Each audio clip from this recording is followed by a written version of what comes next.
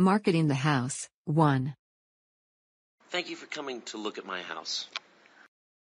I really wanted to take a look and help give you an idea of what we need to do. When will people come to look at my house?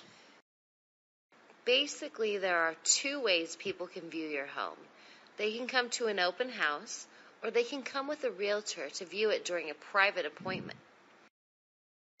Will people from other real estate offices be involved or just from your office? Your house is going to be listed as a multiple listing so that it will have the maximum exposure to a variety of people. When will I know when people are going to come to see my house? We will set the parameters in the contract, but usually you will receive at least four hours of notification that someone is coming. What happens during an open house day? You will be expected to be away during an open house. I will take care of the details. Marketing the house. 2. I appreciate you dropping by to look at my home.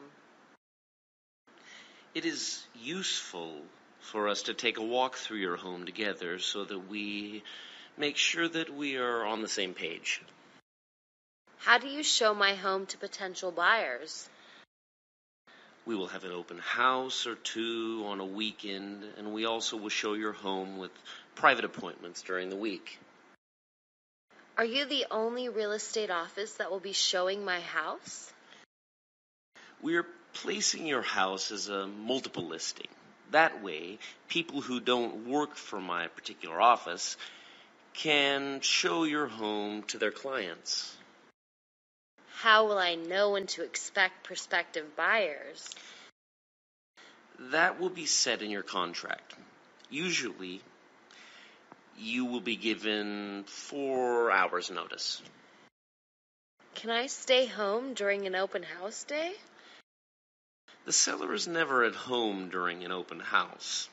I, personally, will handle the showing of your home. Marketing the house. 3. Thanks for stopping by to evaluate my home. I want to make sure that you are very clear on what the steps are to selling a home. When can people come and see my home? We will have several open house weekends. Various realtors will also show your house during the week. Will I know all of the realtors who will be showing my home, or will they be strangers? Your house will be listed on what we call a multiple listing. That way, it will be shown by a variety of realtors. Can people just drop in any time they feel like it? We usually try and give you at least four hours of notification that someone is coming to look at your home. Will I have to go away during an open house day? I will handle all of the work involved for the open house. The only thing that you need to do is to be somewhere else. Deed transfer. 1. I really need help knowing what to do about transferring the deed on my house. The work of legally transferring the deed of your house will be taken care of in escrow. What is the first thing that they will do? The first thing they do is a title search to make sure that there are no liens against your property. What if I have a lien against my property? Your home cannot be sold until you clear all liens. How long will the escrow take? You can control some aspects of the length of your escrow, but not all. Complete all paperwork in a timely fashion. So, how many days will it take? An escrow can take anywhere from 30 to 90 days. Deed transfer. 2. I know nothing about transferring the deed of my home. The escrow company will be doing all of the work in transferring your deed. What is the first step in transferring my deed? A deed transfer always includes a title search to make sure that there are no outstanding liens against the property. What if they discover a lien against my property? A title transfer cannot occur until you clear all liens. Will my escrow take long? To move your escrow along, it is important to supply all documents that are requested in a timely fashion. What is the length of the average escrow? The average escrow will last anywhere from 30 to 90 days. Deed transfer 3. I think that I'm going to hire a lawyer to help me transfer the deed of my house. Don't worry, the escrow company will be helping us with the transferring of the deed. How do they begin the process of transferring the deed? A title search is necessary to make sure that there are no liens against your property. What will happen if they find a lien against my property? All liens against the property must be cleared before the sale of your house can continue. How can I shorten my escrow? Make sure that you accurately complete all paperwork in a timely fashion. This will help shorten the length of your escrow. How many days will it take to close the escrow? 30 to 90 days is about how long it takes to complete an escrow. Fixing up the exterior 1. Can you help me figure out some inexpensive ways to fix up the exterior of my home? Like the interior, the number one thing you can do is to repaint the outside of your home if it needs it. What do you think of the landscaping? Your lawn looks really good. Perhaps you could get some timers installed for your sprinklers. How about adding some flowers or something? Colorful flowers are always a nice addition to a yard to add curb appeal. What about fixing up the backyard? Make sure the lawn is well trimmed and the bushes are cut back. Can you think of any more overall suggestions for the exterior? Wash all the windows inside and out. Fixing up the exterior 2. What can I do to fix up the exterior of my home? I would say the number one thing that you can do is paint your home. But your home has been painted recently and looks great. What can I do about the landscaping? Your lawn looks a little dried out. I think all it needs is a little fertilizer and water. My front yard looks a little boring. How can I brighten it up? I would definitely put in some new plantings to liven your yard up a bit. Should I be worried about what my backyard looks like? You need to repair that section where your fence is falling down. What else can I do to make the exterior of the house look extra good to buyers? Make sure to keep the sidewalks and driveways swept clean at all times. Fixing up the exterior 3. I keep hearing about curb appeal and want to know how to achieve it. The paint job on your home looks pretty good, but I would touch up the wooden trim a little where you have some peeling spots. I am not so sure that everyone will like the landscaping. Your landscaping is a disaster. To get top dollar for your home, you should replace it. Is there anything I can do to add some interest to my front yard? You have beautiful plants in your yard, although some of them aren't in bloom right now. Just add a few colorful flowers in pots. Is the appearance of the backyard important? If you can borrow some really nice patio furniture to show off your lovely patio, that would be nice. Any final suggestions on how I can make the exterior of my house even more appealing? Having your trees and bushes trimmed could be an investment. Accepting a counteroffer 1. My assistant called and said that you had received a response to our counteroffer.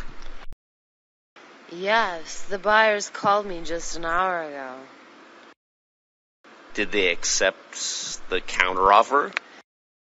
They came back with their own counteroffer of 5000 less than you wanted. What do they think about their counteroffer? I think that this is a good offer. They also would like to have a 90 day escrow to allow them to sell their home. The length of the escrow is not that huge a issue with us. They also want to sell contingent on a good building inspection. That is reasonable. And I accept the conditions. I will let them know that you have accepted their counteroffer. They will be very pleased. Accepting a counteroffer 2. I had a message on my phone that the buyers had responded to our counteroffer. Yes, the response just came through on the fax machine. Was the counteroffer acceptable to them? They made their own counteroffer of 5000 less than you proposed. Do you feel their counteroffer is reasonable? Their offer is a good one. They also want to have a short escrow, as they have already sold their home and are ready to move in. We can accommodate the buyer's desire for an escrow length of their choosing. They want their building inspector to approve the quality of their house. I would expect that to be the case and accept their counteroffer. I will contact the buyers immediately and let them know of your acceptance of their counteroffer. I'm sure they will be excited. Accepting a counteroffer 3. I was calling in to see if there had been any response from the buyers regarding my counteroffer. Yes, the buyer's agent just contacted me while I was at the open house. Did they state whether the counteroffer worked for them or not? They almost accepted your counteroffer price, but want to go a little lower. They are offering 5000 less than your counteroffer. In your professional opinion, is this a good offer?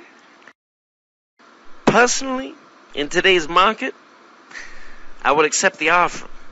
They also want a short escrow as they feel that the interest rates are low right now. We can either lengthen or shorten the escrow for the buyer.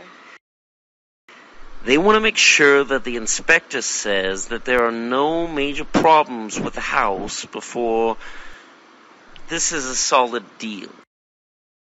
Of course, the house will have to pass a basic inspection, but we accept their counteroffer. The buyers will be happy to hear that you have accepted their counteroffer.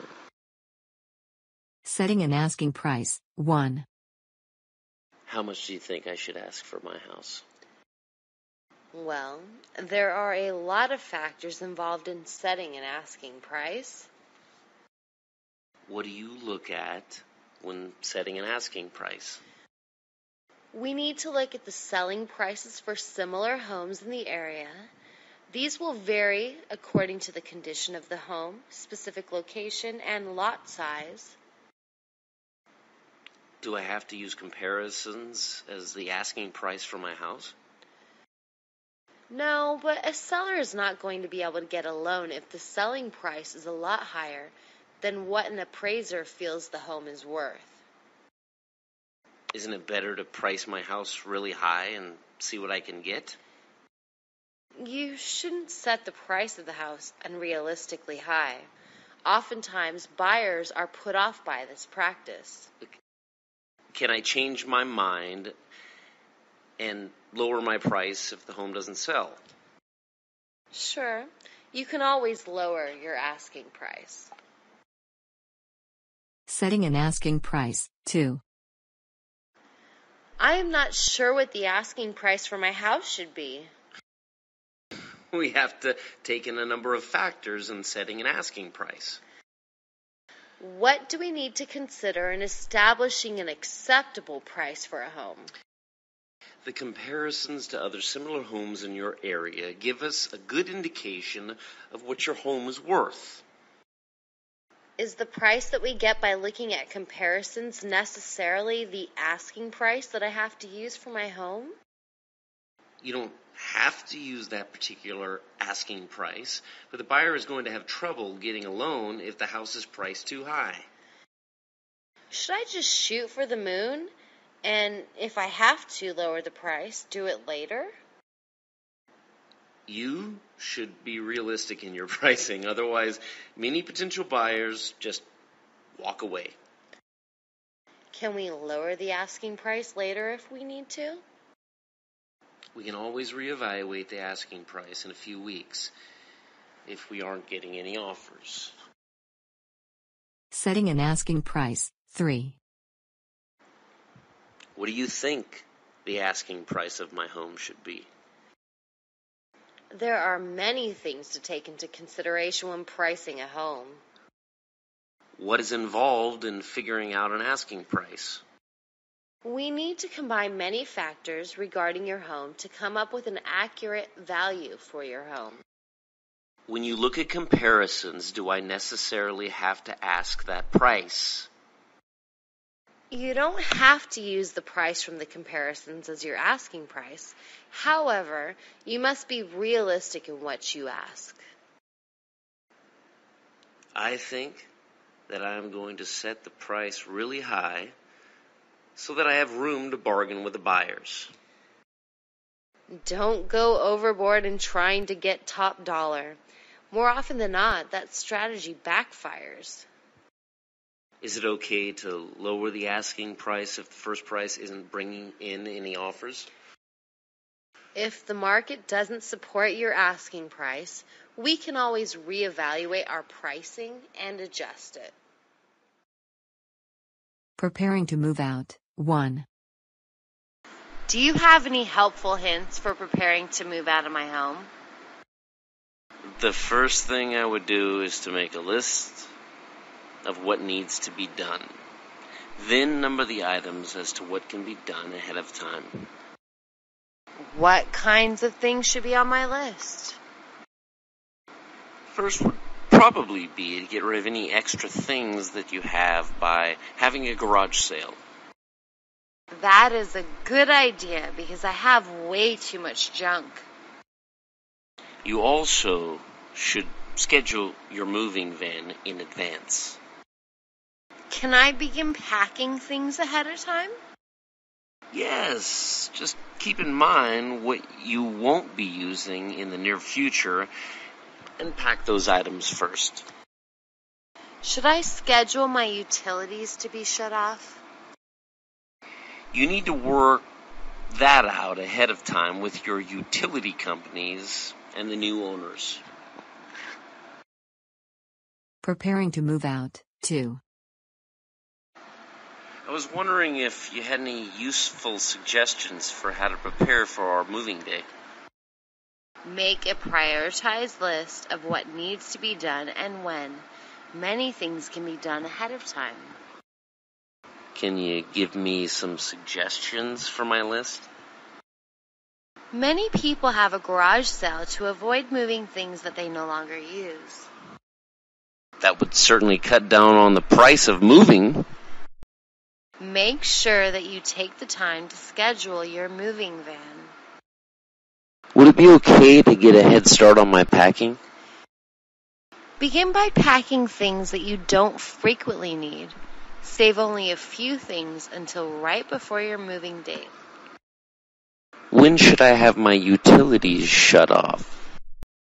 It is best for you and the new owners to coordinate the transfer of the utilities and what needs to be turned off and on.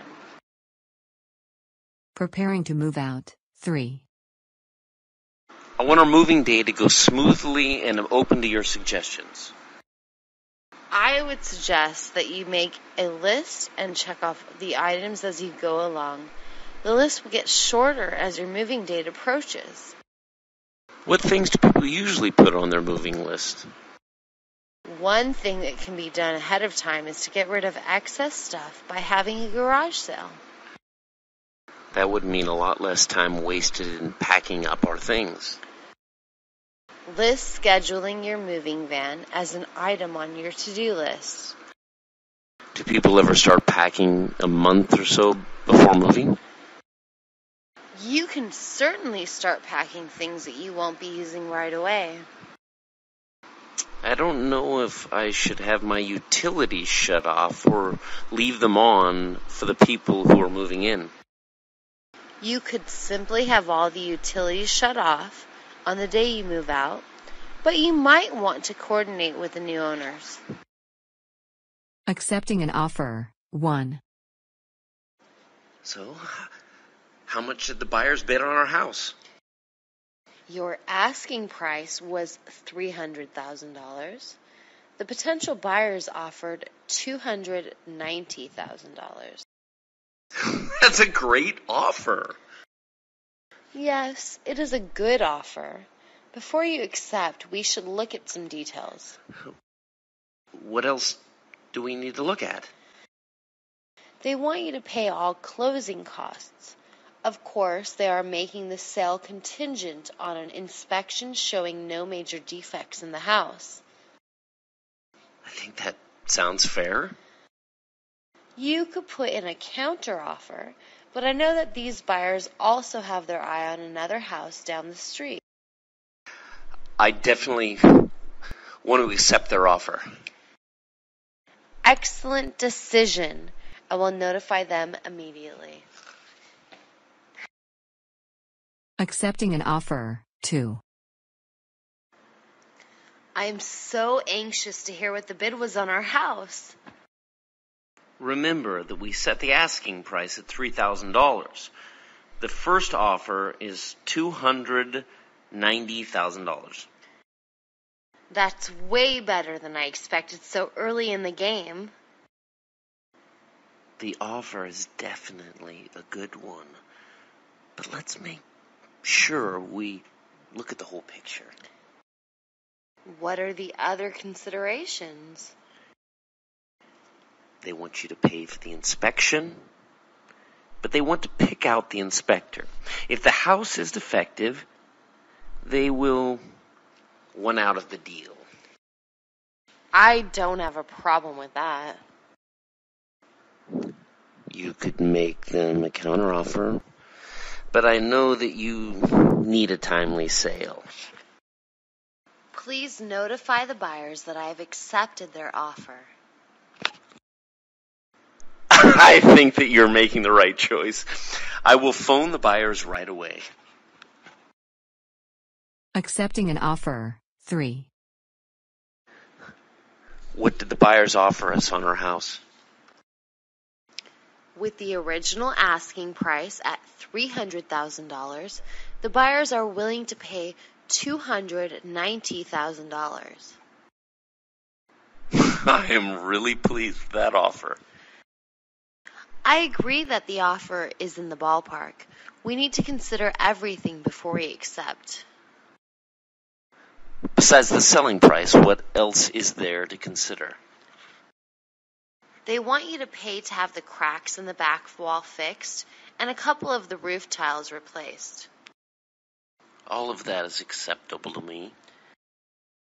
A counteroffer by you is always a possibility, but their price is very close to your asking price.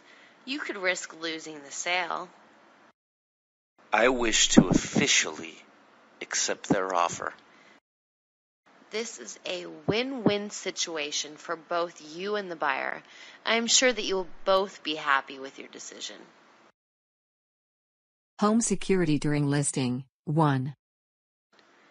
So, during the time that you are showing my house, how will my valuables be protected? A real estate company takes every precaution to see that your valuables are protected at all times. How will I know when someone will be looking at my home? We will typically give you at least four hours notice on a weekend before we come by. Will you always accompany whoever is looking at my home? Your house is listed on the multiple listing. That means that people from a variety of real estate offices will be showing your house. How will the realtors get into my house if I am not at home? We put a lockbox on your house.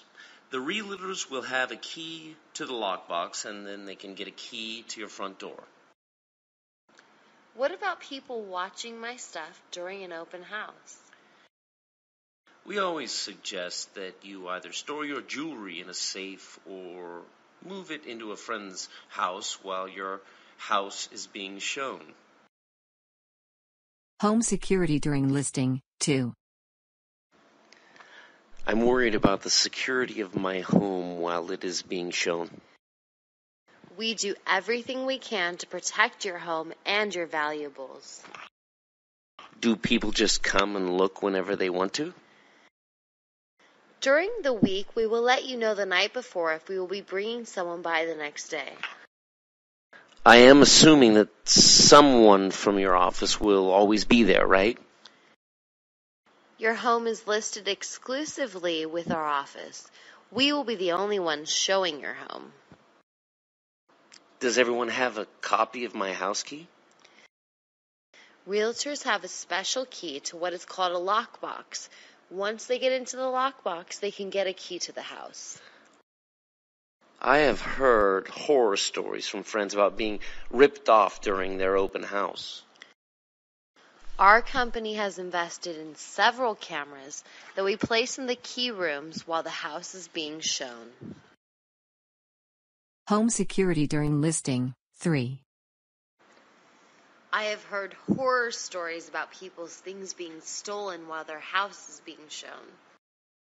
We have a very good track record when it comes to home security. I am not so sure that I like the idea of people showing up whenever they want to pop in. We will always call at least 12 hours in advance if we are bringing somebody by to see your home. Are you the only one showing my house? To get a maximum exposure and a variety of buyers, your home is listed on the multiple listing. Many different realtors will be showing your home. Do you have to come and let the different realtors in when they want to come look at my house? The realtors can get a key to your house by unlocking a lockbox on your front door. They use it while they are there and return it when they leave. The thing I worry about the most is having my valuables stolen during an open house. Our realtors try to be very aware at all times of who is in the house and what they are doing. Deciding which offer to accept 1. Your office called and left a message that several offers had come in on our home. Yes, we received three offers in one day for our home. Were the offers for a good price? One offer was for the full asking price, one slightly below, and one above. Well, I'm going to accept the highest bid, of course. Actually, there are a few things to consider other than who is offering the most money. What other factors do I need to consider? We need to consider the likelihood of the buyers actually being able to purchase the house. How do we check on the buyer's ability to purchase our home? We would check to see if these buyers are pre qualified for the loan amount they need. This information will help you make a good decision. When we get all the information, then I will make my decision. When you make that decision, I will present it to the buyers. Deciding which offer to accept 2. I received your email about the many purchase offers for my house. It has been quite a busy day regarding your home. We just received three offers. Did the potential buyers offer a good price? There were offers above and below your asking price, as well as one exactly for the asking price. The highest bid is always the best. We need to look at the big picture in deciding which bid to accept. What things would you like me to look at? Just because a buyer offers the money doesn't mean that they actually have the credit to purchase the home. How do I get the information about a buyer's ability to afford to buy a home? We will check to see if any of the buyers have a large down payment. A large down payment of available cash would be a good sign. I will wait for that information and give you my answer. Please let me know when you have made your decision, and I will contract your buyers. Deciding which offer to accept. 3. My friend said that you had called regarding multiple offers for my home. The open house was quite a success. Last night we received three offers on your home. I am anxious to hear how good an offer we received. Offers above and below the asking price came in. One was right on the money. Let's go with the highest bid. We need to look at a number of factors in deciding which bid to go with. What matters besides getting the money for the house? We need to make sure that these potential buyers are actually qualified to even purchase a home. I don't even know where to begin checking our buyer's credit information. We can check to see if these buyers have already sold their current home. This would make them desirable. I think that gathering that information will be helpful to me. Please let me know if I can further assist you in making your decision.